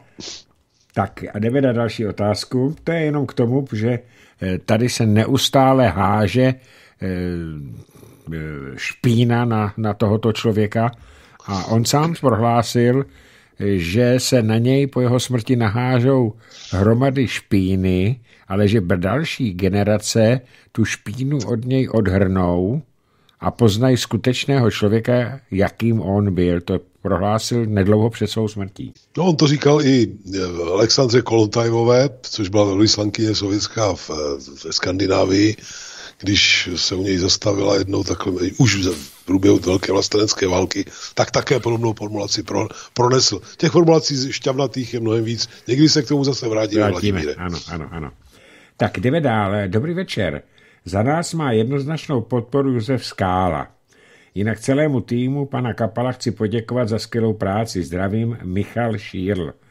Takže tady máš už vyjádřenou podporu na té prezidentské volbě. Eh, já vím o tom, že eh, a asi to bude, po, bude zase na pořadu jednání tebe a SPD.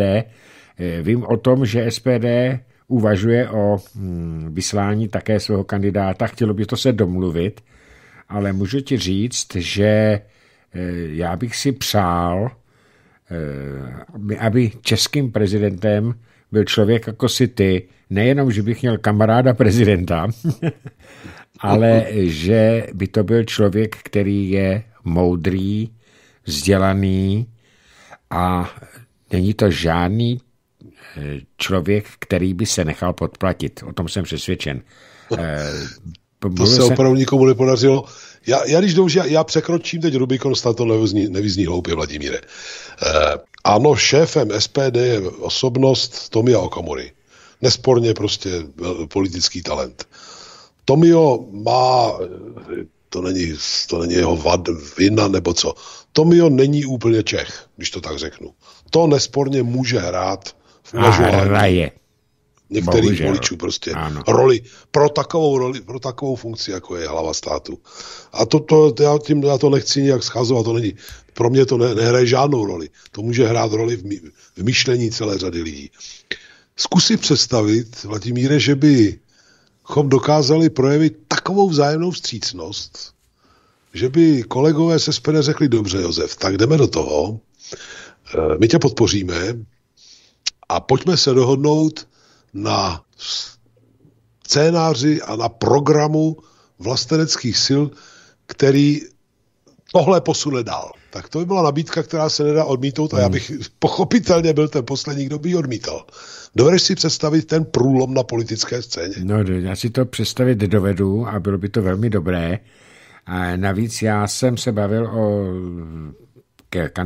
kandidatuře na prezidenta s dalším mým skvělým kamarádem a, a moudrým člověkem, vynikajícím člověkem Jaroslavem Baštou. A e, protože já ne, neznám jméno, které chce nominovat SPD, ale e, vím o tom, že by to neměl být Tomio, který vidí svou roli ve, ve sněmovně. A Jarda Bašta mi na to říkal, víš, já už bych o tom neuvažoval, protože už jsem přece jenom v letech. Ale byl by to taky moudrý prezident. A jsem přesvědčený, jak znám říct, Jardu Promiň, Baštu. že skáču do řeči, Vladimíre. No. Jarda je velmi moudrý muž, má zajímavý prostě a řekl bych přesvědčivý životopis, hmm. včetně těch věcí, které se neměly stát na Prahu 70. let, eh, jak si rozhodnutí tehdejší politické a justiční moci. Eh, Jarda je skvělý, skvělý, řekl bych, komentátor, glosátor, eh, vstupuje teď do klíčových politických témat naprosto brilantním způsobem, ale je fakt, že Jardovi je 74 nebo 5 nebo kolik. No, no 70, 70, Prost... 74 pryč. Tak. A je fakt, že vstupovat na ten stolec po 75 se víc, nebo kolem 75, je přeci jenom trošku jako už pozdě. Čímž nechci Jardu nijak schodit. Jak my no, to jsou jeho vlastní vztah. slova, ano, to jsou jeho vlastní slova. Tak. A já si ho velmi vážím, jo, čili já taky. to není, že bych ho tím chtěl schodit, ani náhodou. Tak a jdeme na další. Eh, prosím, ještě, jedete ještě živě? Má vás ve smíčce na mobilu PC sekl. Pan Skála opakuje větu o dogma. Eh, takže ano, to je SMS, kterou nám posluchač napsal, když nám tady vypadl prout. A Jasný. on ten vysílací program, to musím vysvětlit, má takovou necnost, že když to tady vypadne ve, v, v toho, z toho studia ve vysílání, takže on si udělá smyčku a jede to pořád dokola, než to jo, někdo takhle. vypne a než to dá pořád náhradní. Takže jedeme živě, to jste mohli zjistit. tak, eh, jde mu další SMS-ku. Dobrý večer do studia. Co se týče volby prezidenta, mám za to, že budou protestní na současnou situaci a vládu, tak v prvním kole souboj Babiš versus Kalousek a ze zadních pozic bude stačit útočit pan Skála. Jak se říká, když se dva perou, třetí se směje. Takže typ pro druhé kolo pan Babiš versus pan Skála. Je to otevřené. S pozdravem posluchač Zdeněk. Eh, tak, tak to je velký optimismus. Já děkuji za takový námět, ale co si mi napovídá, že možná takhle dobře, až to ne, nedopadne. Čímž nechci dopředu kapitulovat a flákat se, to ani náhodou. Já jsem ale, Josefe, přesvědčen a chtěl bych slyšet tvůj názor jako opravdu politologa, člověka znalého. Já jsem přesvědčen o tom, že pokud by zůstala přímá volba prezidenta, takže pan Kalousek by se do druhého kola podle mého soukromého názoru nedostal. Byl by to naprosto kapitální průlom. Jen. Protože máš pravdu, že Miroslav Kalousek je z dnešní uh, politické garnitury uh, jaksi opačné, než do jaké patříme my. Pod, řekněme, 80 let, zřejmě nejschopnější vůbec. Nebudu počítat teda, nebudu počítat stávající hlavu státu, nechme tohle stranou, tak si myslím, že nemá konkurenta na, na, na české pravici. Ano, já s, s tebou souhlasím. Už jenom no. to, co všechno je za ním a zůstal v podstatě čistý, jo? Ne, že by zůstal čistý, zůstal no, jistě, nevyšetřovaný. Dokázal, to, dokázal se dokázal si to, ano, ano, ano. Já ti musím říct, že on má i, kromě toho, že je velmi sdělný a umí být vtipný a tak dále, a tím nechci vůbec omývat mu ruce za věci, u kterých byl a za názory, které má, s nimi se nestatožňuje ani náhodou, On má ještě jednu vlastnost, eh, která je svým způsobem sympatická. My jsme shodou okolností téměř sousedi. S dušnou čarou mezi našimi bydlišti to je nějakých 130 metrů nebo kolik? 150 možná. Hmm. A tu a tam se takhle potkáme někde na ulici, jako jo, tak hmm. pozdravíme. A já z jeho vystupování cítím to, co mi říkával třeba i Mila Ransdorf. Miroslav Kalousek podle mého soudu umí rozlišit mezi lidmi, kteří eh, co si předstírají a kteří co si myslí smrtelně vážně. A toho druhého, podle mého soudu, on si dokáže svým způsobem i vážit. Eh, já to cítím a cítíval to i Míla Ransdorf. Eh, když spolu prohodíme pár slov, tak je to znát prostě, tohle je znát. Což je určitý rys, každý, nemáme všichni, všechny, všechny rysy, čer, tady není jenom černá a bílá, jsou i jiné barevné odstíny. Já osobně jsem si u něj povšiml i této, této potence a doufám, že to nevyzní hloupě, že to vztahuje jenom k sobě. Tak já, já to nevztahuji zdaleka jenom k sobě, tak jsem to chtěl říct. Já jsem se s panem Klauskem setkal osobně pouze dvakrát v životě a to o, na tiskových konferencích, když jsem tam byl, eh, když jsem tam byl akreditován jako novinář. Eh, na té první to proběhlo v celku, jako bych řekl, decentně. A na té druhé, když jsem mu neustále dokola dával otázky na ty padáky a na ty noční vidění tanku a, a takový, co jsme prodělali šílené peníze, tak mi na to neodpovídal. No a já jsem to opakoval neustále a neustále, až najednou přišli ta jeho ochranka a prostě mě vyhodili na jeho příkaz pravděpodobně ze dveří ven. To, to je moje osobní zkušenost s panem Kalouskem. tak jdeme dál. Dobrý večer, pánové. Generál Pavel, který jako voják zradil opakovaně, na co přísahal, prý získal miliardářské sponzory. Silně to připomíná vzestup známý z instalace Adolfa Hitlera. Obávám se, že právě všeho schopný kolaborant Pavel je vybranou loutkou tou českou Čaputovou. A takové zákony, které zavádí totalitu, vys pandemický, utužení, jej, teď mi to ztratilo, uh, utužení nastoleného formou falšování voleb korespondencí a tak dále, to mi vše zapadá do kontextu celkové fašizace a souvislostí. Co myslíte? Jirka z Pardubic.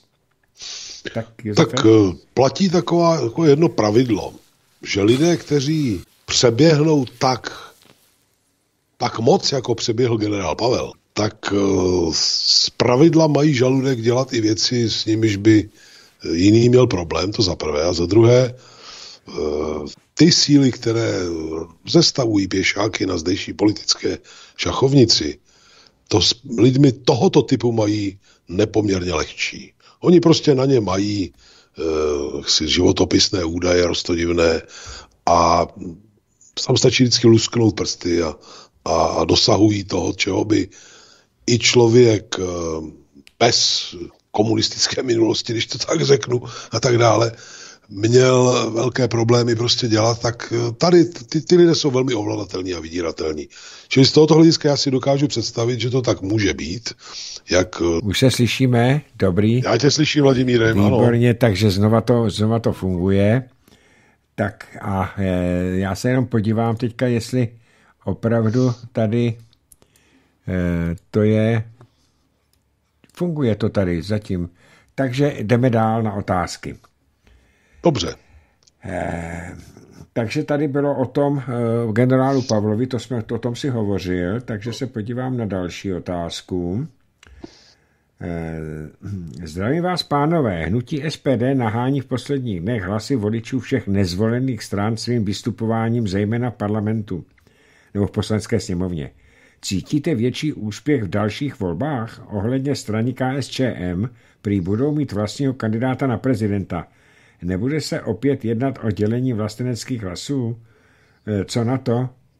E, Pepík, píše Marek 24. No, e, o tom jsme hovořili už, všeho.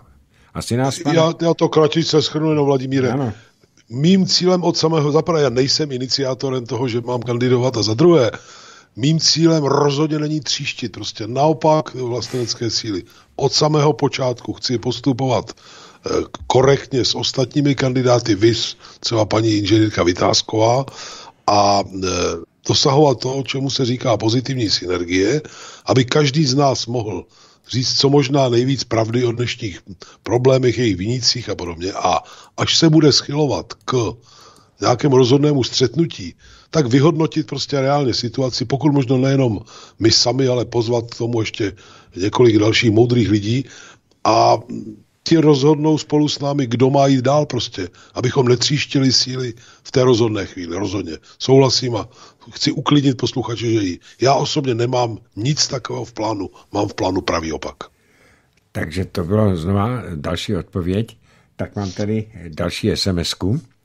Dobrý večer, pánové. Chtěl bych se omluvit panu Skálovi, protože před rokem 89 jsem se taky díval na stanu všelijak. Dnes bych mlčel jako ryba. Tak na usmířenou mu to hodím i ve druhém kole prezidentských voleb. Píše neočkovaný Michal 62. Tak Josefe, co ty na to? Děkuji moc, taková slova vždycky strašně potěší, protože hledejme k sobě cestu. Jsem rád, že lidé dokážou vyhodnotit, prostě pro, prozřít, abych tak řekl. A chci ujistit eh, tohoto posluchače i další. Ani můj názor nezůstává betonový. I já prostě eh, se dál propracovávám k poznání, které třeba tehdy e, mi vlastně ještě nebylo. Takže je to vstřícný proces, vzájemně vstřícný proces.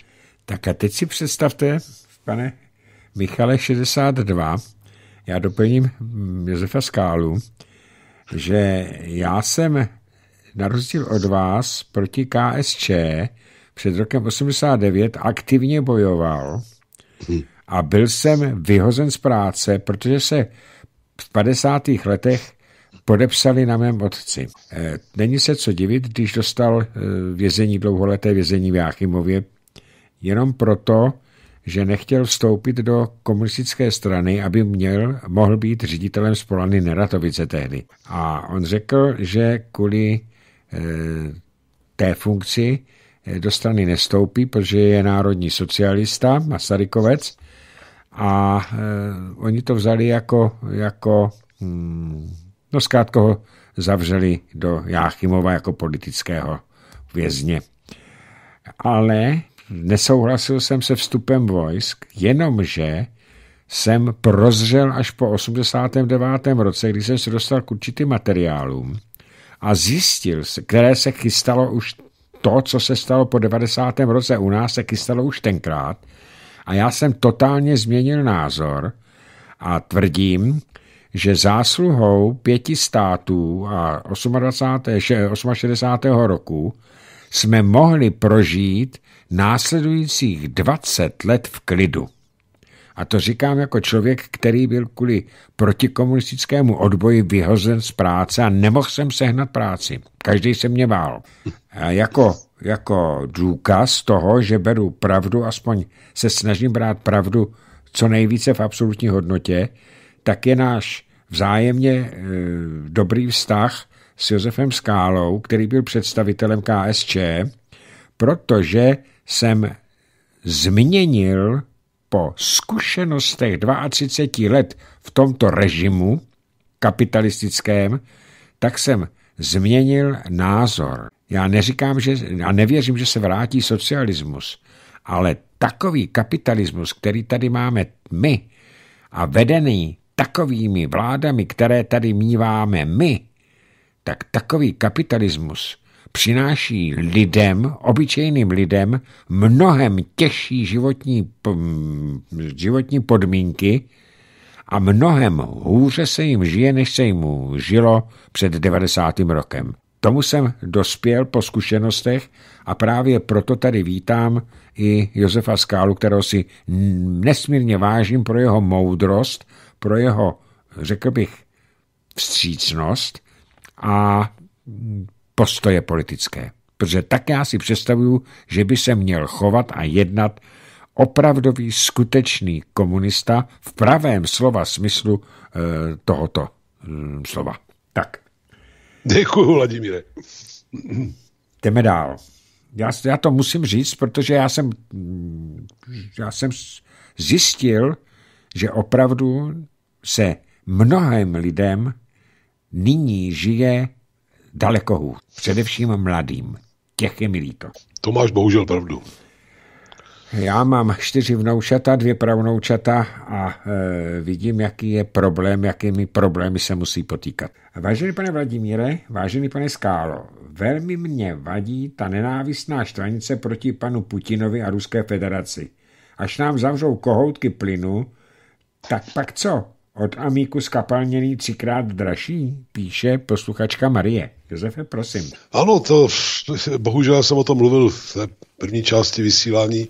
Já si dokonce nemyslím, že nám Rusko jak si zavře kohoutky. E, to může dojít tak daleko, že si například velký bratr spoza oceánu vynutí e, takové kroky, včetně toho, že nebude spuštěn Nord Stream 2 a tak dále, mm-hmm. že ne, že by Rusko přestalo dodávat plyn do Evropy, ale že v podstatě bude odepřen jeho příjem pod tlakem ze Spojených států a Evropa bude nucena nakupovat skapalněný plyn prostě z, z, z, ze Spojených států, z Kataru a tak dále.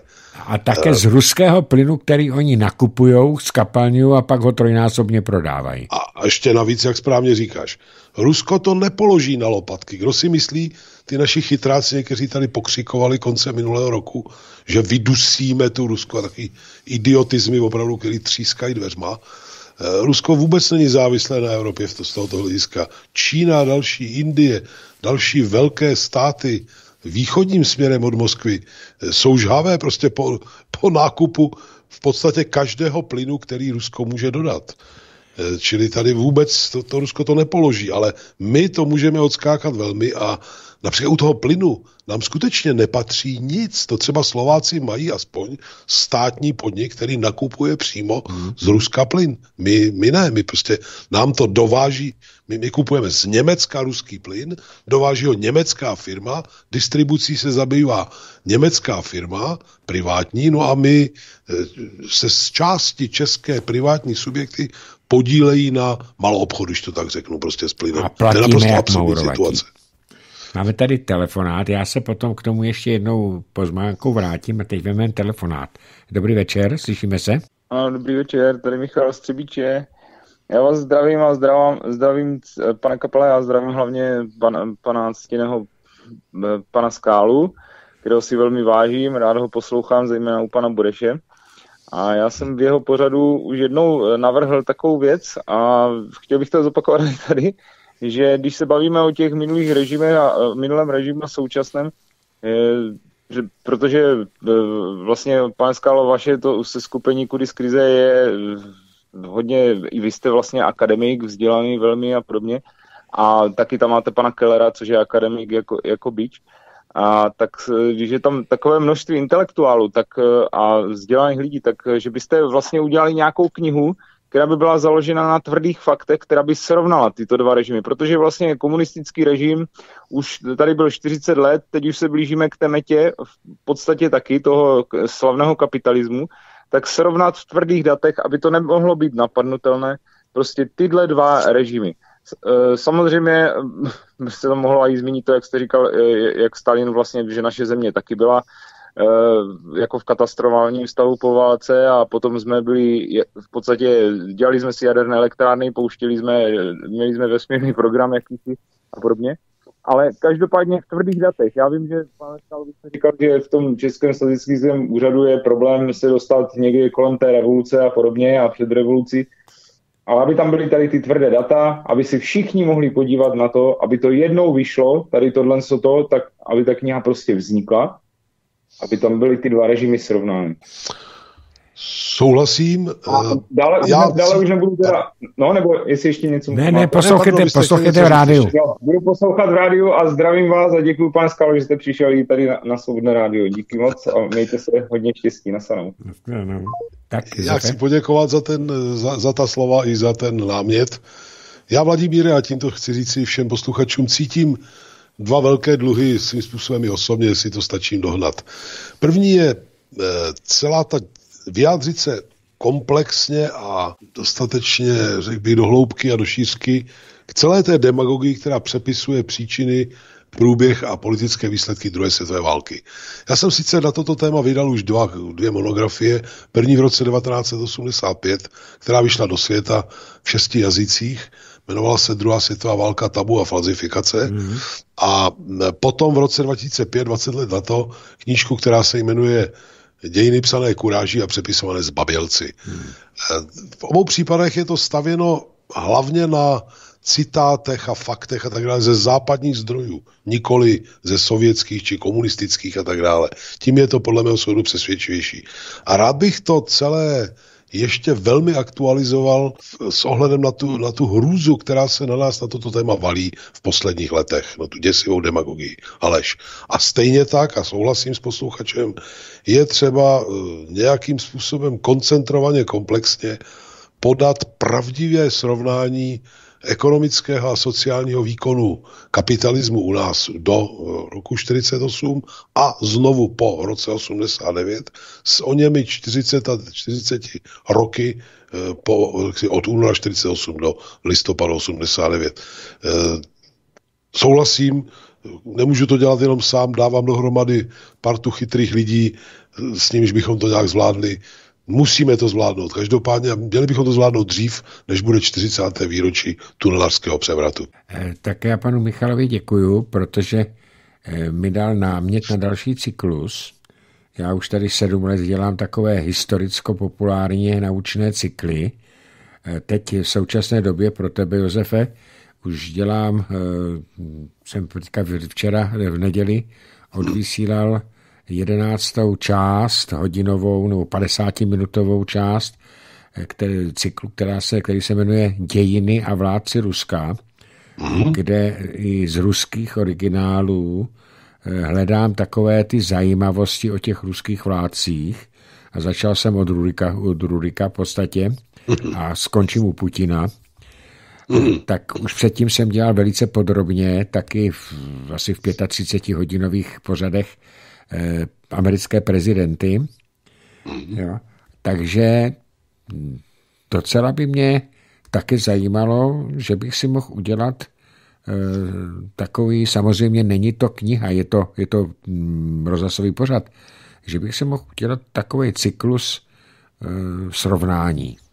Ne, nevylučuju to, uvidíme. A teďka poslední Dobře. dotaz. Josefe, o tom plynu. Nedávno jsem četl, vyjádření eh, německého ekonoma, který prohlásil, že pokud by Rusko zavřelo kohoutky, anebo Německo přestalo dobírat, nebo Evropa přestala e, odebírat ruský plyn, takže Evropa zmrzne. To je velmi pravděpodobné. Jo, tak... Ruský plyn představuje, pokud mě paměť nešálí, asi 45% veškeré spotřeby Eh, plynu v Evropě nebo v Evropské unii, což je strašně moc. Eh, Holandsko a Norsko výrazně snížili svoje dodávky oproti očekávání. Britská naleziště, jak známo, když z toho měli velké peníze, tak to je úplně jiná situace, než bývala ještě před pár lety. A eh, Evropa opouští uhelné zdroje energetické, vypíná dokonce mnohde i jaderné elektrárny. Takže co zůstává alternativou? No snad proba nikdo nemyslí vážně, že ty vrtule šílené a soláry, jo, ty, ty samozřejmě také mohou generovat elektřinu, ale v velmi ne, ne, v nepravidelných cyklech a nenáhodou se té zkratce OZE, jejíž původní smysl obnovitelné zdroje energie, říkává občasné zdroje energie. Hmm. Evropa bez ruského plynu by se ocitla v mimořádně kalamitní situaci, souhlasím. A druhá je poslední připodotek. Uh, už jsem někde četl, že se obrátilo, uh, obrátila čínská strana na ruskou stranu, že v případě odmítnutí ruského plynu pro uh, Evropou, Evropskou unii, tak Čína je ochotná 100% výroby plynu vzít sama. No samozřejmě ještě se jí to zlevní, ano. protože Amerika jí dodává ten skapalněný plyn mnohem dráž, ano, než ho byla ochotna nakupovat i, i Evropa. Ale já bych tu chtěl závěrem, pardon, závěrem zdůraznit jednu věc, o které se třeba někdy rozpovídáme víc. Eh, po té takzvané globalizaci pod eh, taktovkou a karabáčem do jisté míry celé té takzvané euroatlantické civilizace se svět rozpadá krok za krokem do přirozených jakýchsi ekonomicko-sociálních i politických celků a bezpečnostních. A jedním z nich je to veliké azijské seskupení Rusko, Čína, Indie, Větnam a tak dále. Tam žije nepoměrně víc lidí, než v celém eh, Evropské unii a Spojených státech dohromady. A e, bude, budou tam, že bych nava, a navazují se tam přirozené kooperační vazby, kdy každá z těch stran má nějaké komparativní výhody a komparativní slabiny. Velmi zjednodušený příklad, nebo markantní příklad spíš. Čína je dneska ekonomická velmoc větší než Spojené státy a všichni ostatní. Ano. Není ještě tak silná vojensky. Rusko není tak, takovou ekonomickou velmocí, jakou býval Sovětský svaz, byť se zvedá nahoru, ale vojensky je hlavní protivahou prostě Spojených států a NATO. A tam jsou synergie mezi nimi. Do toho vstupuje uh, Indie, do toho vstupuje Irán a další.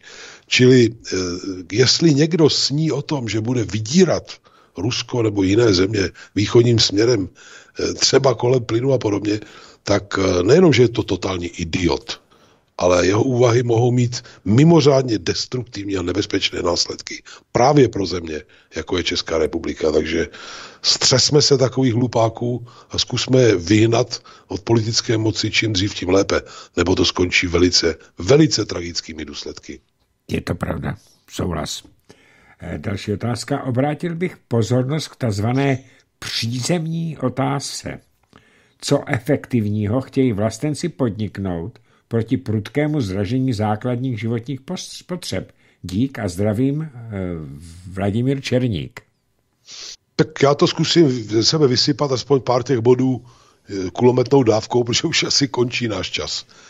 Neexistuje důvod, žádný objektivní, abychom si nakupovali proud vyráběný v českých elektrárnách přes německou burzu. To je třeba zarazit okamžitě. Eh, za druhé je třeba zavést regulaci koncové, tedy maloobchodní ceny elektřiny.